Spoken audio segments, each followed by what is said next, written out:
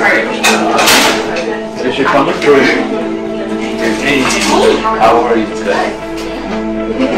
Patient hooked up to the Alright, monitor. let's get some monitors on. Alright.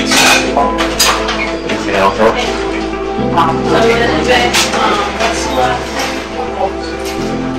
Okay, thank you so much. Just waking up from anesthesia. Four fifty-nine A. We're gonna put a little nasal cannula in your nose. Is this gonna tickle? You got a T-Max on them? Right. Okay? This guy's thirty-eight three. Thirty-eight thirty? Okay. Alright. It was a little warm. We uh, lowered the bear hug rate. Okay. Let me know whenever you're ready for sign out. Yeah, I'm ready. How you feeling? Okay. Feeling alright? Thank you. Okay, still a little out of it. Okay. Alright, so this is a twenty-five-year-old male, status post lap, uh, lap appy. Um, he got about five hundred of crystalloid LR. He has eighteen gauge in the right AC, no A lines, general anesthesia, relaxed reverse, ET seven O. Um, no issues going in, no issues coming out. Surgery went well. Uh, no, known past medical history, no, known family history. This was, uh, he did have a tonsillectomy as a child. Okay. Um, that's pretty much all we got on it. He has been a little tacky, uh, coming out. We did give him about 0.5 of Dilaudid in the room. All Um, right. it looks like he's, uh, still a little tacky. You do have post-op orders. Okay. All right, what questions do you have? Um, so his vitals in the back. Yeah, so he was a little tacky. tacky, remember Okay. the young male just got out of Right. surgery, gave him a little bit of analgesia, but still a little bit of tacky, but that's why we gave him more orders for that. Awesome. Otherwise, otherwise hemodynamic. Okay, Sounds good. Thank you so much. Thank you. We can monitor. Appreciate it. What I'm gonna do is I'm gonna go ahead and call the, um, PACU resident, okay. just to come take a look at him. Okay.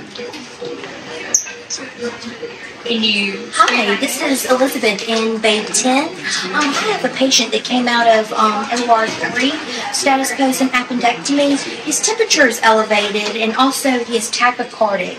Um, could you please come take a look at him? Thank you. Hi, Hi. I'm the PACU resident. Okay. Um, I just got this patient from the OR. His status post um, a laparoscopic appendectomy. Okay. His only prior um, history is he had a tonsillectomy as a child. Um, when he came out, his heart rate has been tachycardic in the 130s, and his temperature was 38.3. Um, they said in the back he did fine. Um, didn't have any issues with pressures or um, heart rate. Um, so trying to get him to wake up some. Hey, can you please open your eyes for me? Are you on any pain right now? No pain? Okay. Any medical history? No medical history. No medical history other than um, just having a tonsillectomy as a child. And then his end tidal is elevated and his heart rate is still in the 130s. Um, when he came to the PACU, he was like that? Or He was in the 130s heart rate. Um, we just got him hooked up to the end tidal and his temp was 38.3. Get a second card in the back as well. Okay. So he got the louder for pain. Got dilaudid Okay, for how, how long was that? Um, that was about 10 minutes ago. This was Okay, good. Um, how much fluid he got uh, intra He got um, a liter of LR. And you have a Foley? He does have a Foley, and it kind of looks very dark, the urine that he's put out so okay. far. Okay.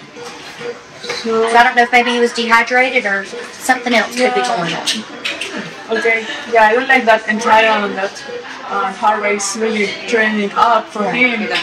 Okay, and that's the blood pressure. When was Yes. Okay, good. Just make sure. Let's measure the temperature. Yeah.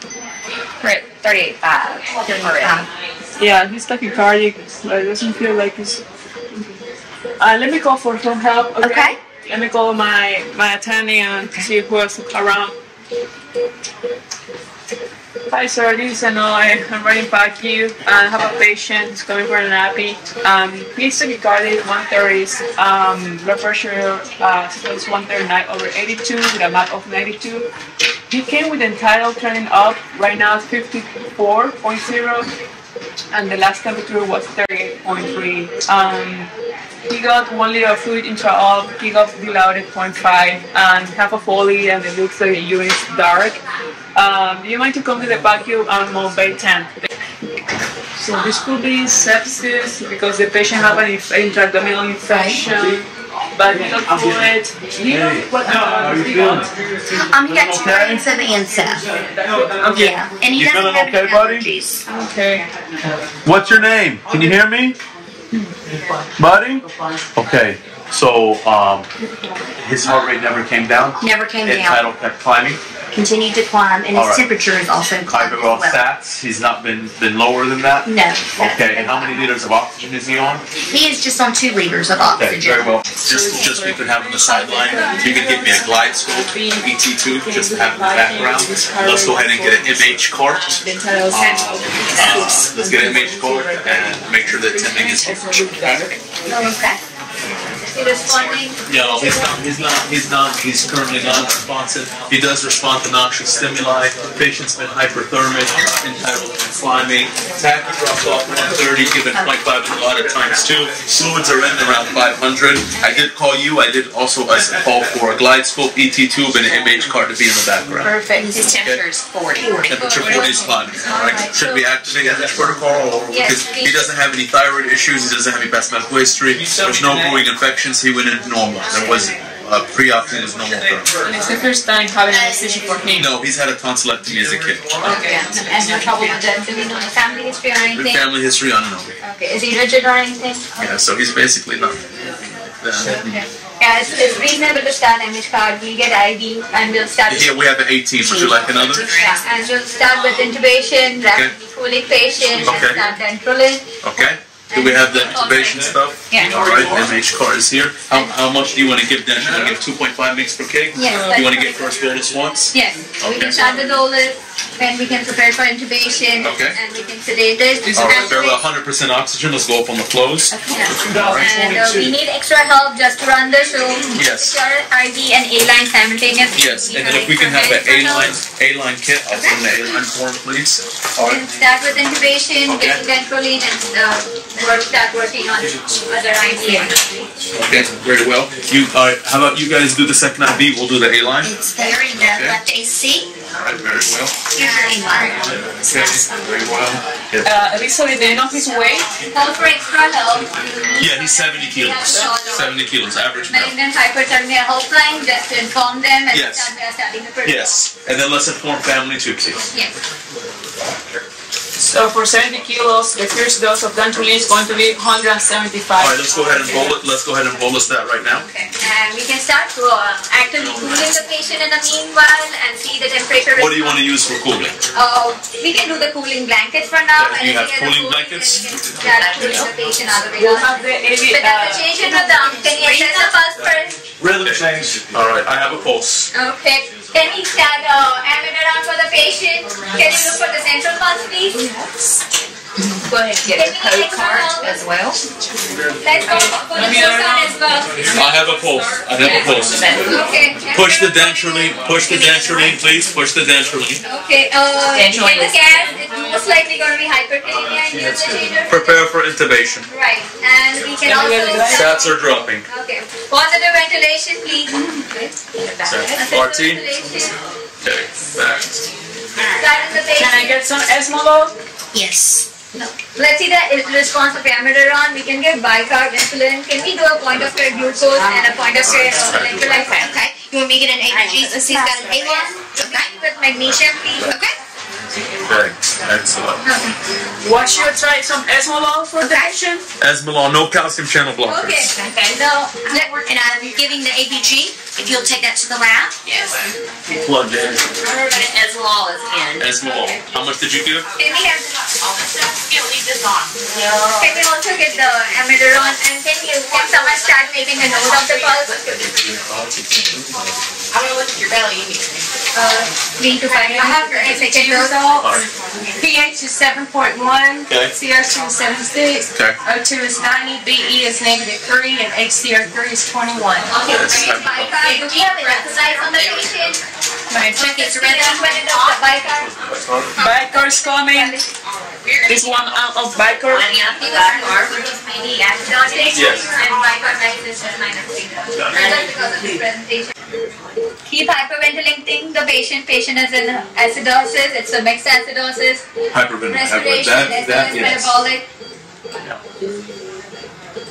All Uh, have you given any Stats are holding. electrolytes? Do we have electrolytes and magnesium level? Give 10 more of Esmolol, please. Ten more of Esmolol, it's the second dose. End tidal down from 54 to 50. Both same. Stats holding. Hemodynamically stable. Do we have blood glucose level on also? It was 113, but his potassium is 5.7. Potassium is how much? 5.7. Okay, Chiche, let's get a 12 lead and you want to go ahead and treat hyperkalemia? Show hyperkalemia protocol.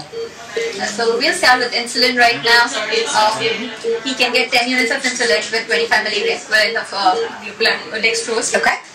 You want to give calcium or no? We calcium chloride. All right. Oh Chloride. no, he doesn't. Let's calcium do gluconate gluconate, right now. gluconate, no That's not central line. central line. Uh, 10 milligram calcium gluconate over Yeah. 10 minutes. His Calcium CO2 is coming Pulse. down. Pulse is doing well. Have we done the second dantrolene dose? Yes, Okay, yes, very well. So we're two dantrolene doses in. Pulse is coming down. End tidal's coming down. What's the temperature right now? T, T, T max, please. Um, 38.8. Treatment is working. Let's What was the last one? The previous one was 40.1, now Very well, coming down. Okay, very well. Let's go have we informed family. Um, the nurse from the OR is going to get in touch with the family. Okay, let's go ahead and reach out to ICU. He's going to Okay. be in the ICU admit. This patient's not to go anywhere else. Okay. All right. Do you do the dental or not? Uh, right now, he's been doing okay. He's responding to treatment, so we'll hold off infusion. We'll see how he's done. Yes, sir. Do they need to have uh, MH card in the ICU? Yes. Yes. And nurses, please put this on documentation for this patient and, of course, any of his family members. Okay. This needs to be made aware. And also inform the surgery team that this is the event that happened Okay. we are managing the patient. Yes. And also for the primary team, let them know this patient will be testing. Okay. Uh, there's certain testing information that needs to be done to see his susceptibility along with family as well. Okay. Can we sedate him a little bit? Yes. And just talk to him. We'll keep him intubated. Which agent would you like? The light sedation like liquid Precedex or would you like? Start with midazolam now Okay, because alright. we just recover from our Alright, arrhythmia and then we'll alright. take it from there. Okay. Now, are we going to transport intubated? Yes. Okay. All right, very well. We'll transport to ICU. Let Okay. them know he's going to need sedation and a vent. Okay. All right. Charge nurse has called the um, MICU. MICU has a bed, and we are headed up to the ICU. And title's coming down. Also stabilizing. We'll repeat the set of labs there, including magnesium because Well the said. chances of And the potassium and a 12 liter See over there, the please. potassium's come down after the insulin. And a 12 lead over there. Yes. This is the patient's wife, you guys. How's Alfie doing? He um, had some trouble after surgery. His temperature became very high. Do you know if um, he has any family history of having trouble after anesthesia? I don't think so. Okay. Um, so we may need to look into that if possible. Um, but the doctors will update you on kind of uh, procedures that have happened down here in the recovery room. But he's going to be transferred to the ICU. Did he like die on the table? No. So he's going to ICU. He's going the He's not ICU. coming home today. Not coming home today. But the anesthesiologist and um, the primary surgery team will talk with you when you get up to the ICU. Okay. He's going to be okay. My name is Dr. Bob. I'm with the anesthesia team. It's very nice to meet you. We were with him the whole time. So the surgery room well, the surgical team will speak to you soon. But when we when we took him to the recovery unit where they go for a little bit before they go to the floor, he started developing a fever. His pulse went up. We believe that there's a certain condition called malignant hyperthermia. Um, it's susceptible to people sometimes who have a family history, and because he told us from his history that he was a doctor, we don't really know his biological family history. So we've treated the condition okay, with certain medication named naturally that helps treat the condition. You do see a breathing tube bed. That's for his lungs to heal to make sure we get something called EEG. It's a lab value that we measure from the artery to tell us how his insides are doing. Has blood values and everything. He's going to be going to the ICU okay, for the night. Okay? Yeah, because when the patients are breathing on this breathing device, they, they have to be monitored in ICU because it's a one-to-one nurse-patient setting. They cannot go to the field. I'm Dr. Divine. I'm It's really nice to meet you. Nice to meet you. He's been doing okay with responding to treatment. We have to just make sure he continues to have the same trajectory.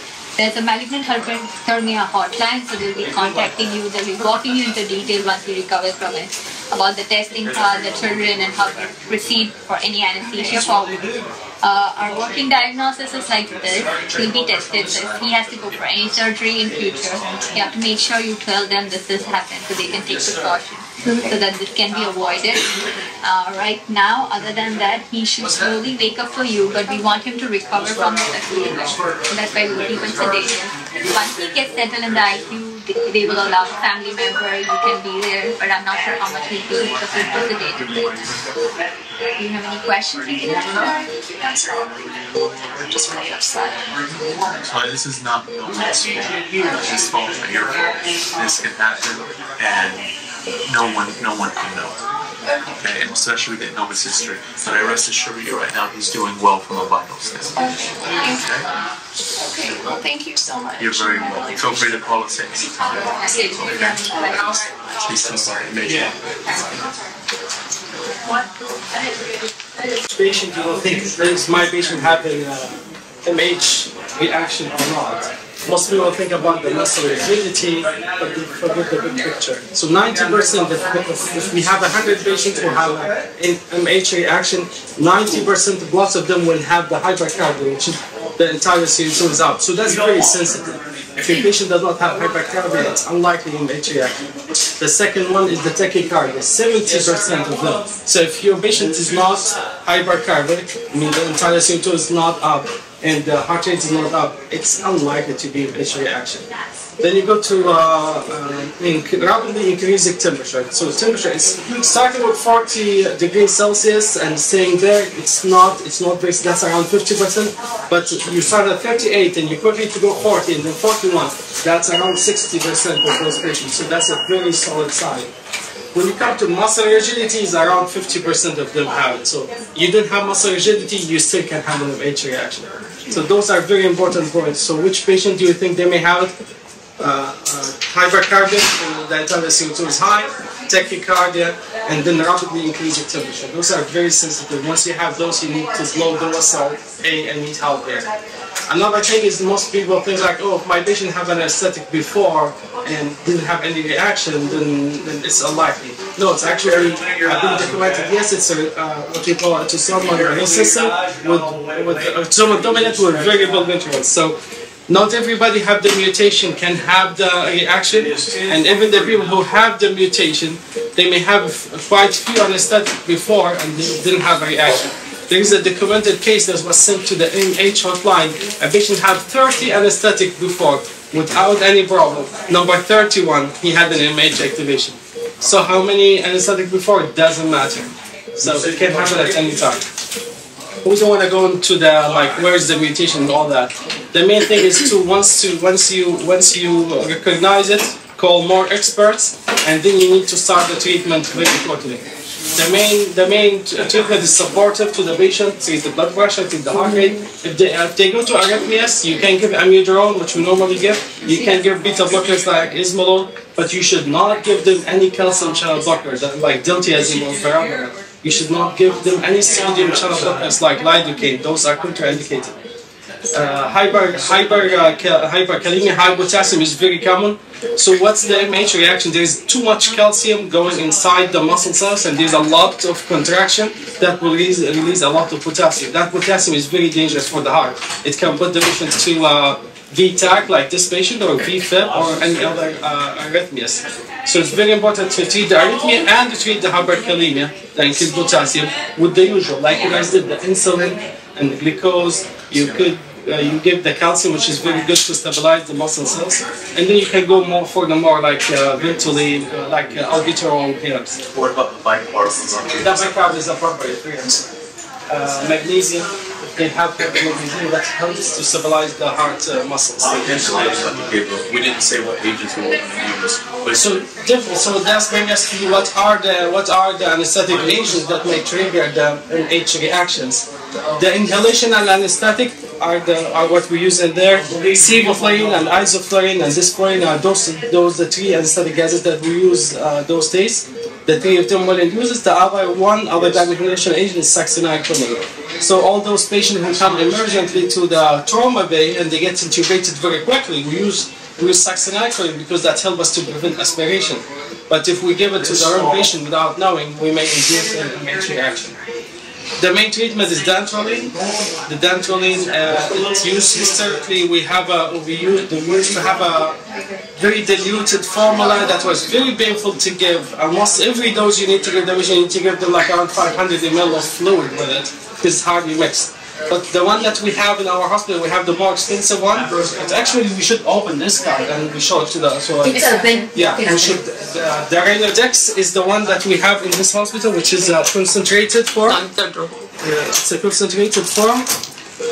Uh, what is the dose? What is the dose? 2.5 milligram per kilo. So 2.5 milligram per kilo. So if you have a 70 kilo patient, which you are, you're a 70 kilo, it comes to around 170 milligram uh, that you need to get the first dose. The vial is 250, yeah. So the vial is 250 milligram. So one vial that you can mix with 10 ml will be a one dose. It's great. We're using the, the real medicine here compared to 500 ml with the diluted form. So we appreciate our pharmacy and whoever made it happen. So the SCART has two doses only, and the patient may get three or four. So you can go up to 12 milligram per kilo in, in one day.